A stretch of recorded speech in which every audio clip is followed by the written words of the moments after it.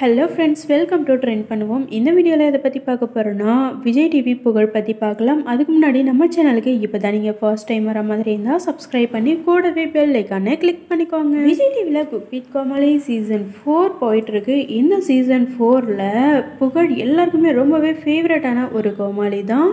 இவங்கள ரசிக்காத ஆளே இல்லை அப்படின்னு தான் வந்துட்டு சொல்ல முடியும். இந்த வாரம் குக் கோமாளி சீசன் ஃபோரில் கெட்டப் ரவுண்ட் வச்சுருந்தாங்க. இந்த கெட்டப் ரவுண்டில் நம்ம புகழ் ஒரு கெட்டப் போட்டுட்டு வந்திருந்தாங்க காந்தார கெட்டப் புகழ் அவங்களோட இன்ஸ்டா பேஜில் ஒரு வீடியோ ஒன்று ஷேர் பண்ணி இந்த மேக்கப் போடுறதுக்கே எனக்கு நாலு மணி நேரம் ஆச்சு அப்படின்னு கேப்ஷனில் நிறைய விஷயங்கள் வந்து சொல்லியிருக்காங்க.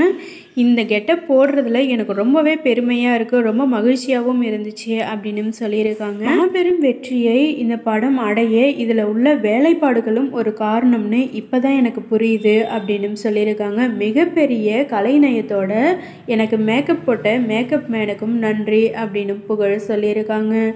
இந்த படத்தில் மக்களை வியர்ந்து பார்க்க வைத்தவர் ரிஷப் செட்டி அப்படின்னு சொல்லியிருக்காங்க. அதிலிருந்து ஒரு சிறு துளியை மக்களுக்கு கொண்டு சேர்த்து இருக்கேன்னு நினைக்கும் போது ரொம்பவே மகிழ்ச்சியாக இருக்குது அனைத்து பஞ்சருளி தெய்யம் நடன கலைஞர்களுக்கும் என் உயர்வு ஏனியாய் இருந்து எனக்கு ஆதரவு அளித்து வரும் என்னுயிர் ரசிகர்களுக்கும் நன்றியை தெரிவித்துக் கொள்கிறோம்னு ஹார்ட்டும் போட்டிருக்காங்க. இன்னொரு விஷயத்த புகழ் அவங்களோட இன்ஸ்டாகிராம் பேஜில் ஷேர் பண்ணியிருந்தாங்க. இதில் நிறைய விஜய் டிவி ஸ்டார்ஸாக இருக்கட்டும் நிறைய சினிமா ஸ்டார்ஸாக இருக்கட்டும் எல்லாருமே பயங்கரமாக விஷ் பண்ணிகிட்ருக்காங்க ஆனால் இன்னொரு பக்கம் சில ஃபேன்ஸ் எல்லாம் இருந்துக்கிட்டு நீங்கள் இதை பண்ணியிருக்கவே கூடாது அப்படின்னு திட்டிகிட்டு இருக்காங்க ஏன்னு பார்த்தீங்கன்னா நீங்கள் குக் வித் கோமாளியில் சிரிக்க வைக்கிறதுக்கு தான் வரீங்க.